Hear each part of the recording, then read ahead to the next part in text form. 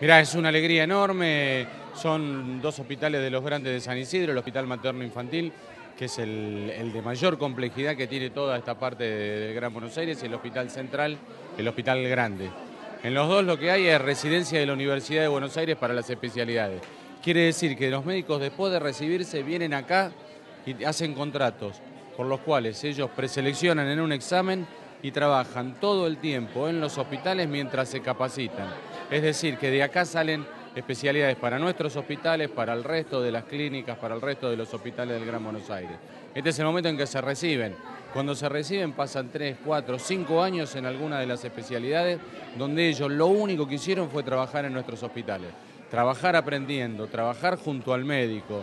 Justamente por eso es una residencia. Así que para mí siempre es una alegría venir al momento y entregar el diploma junto con las autoridades de los hospitales, junto con las autoridades de la universidad, porque son, son Fórmula 1 los que salen de acá. Esta escuela eh, permanente de, recurso científico, profesional, eh, es eh, realmente un, semillero importantísimo para brindar al país, para brindar a la provincia de Buenos Aires profesionales de calidad.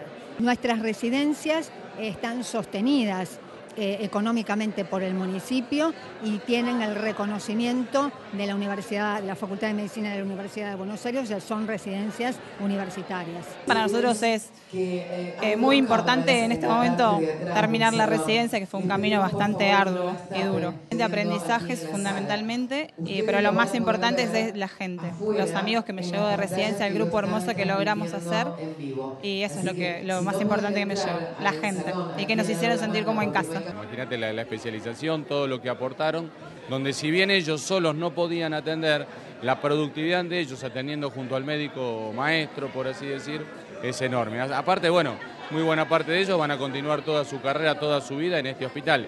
Y me voy a encontrar y nos vamos a encontrar con médicos que se formaron en sus especialidades acá y los vamos a ver en otros hospitales y los vamos a ver en otras clínicas a lo largo de todo el país.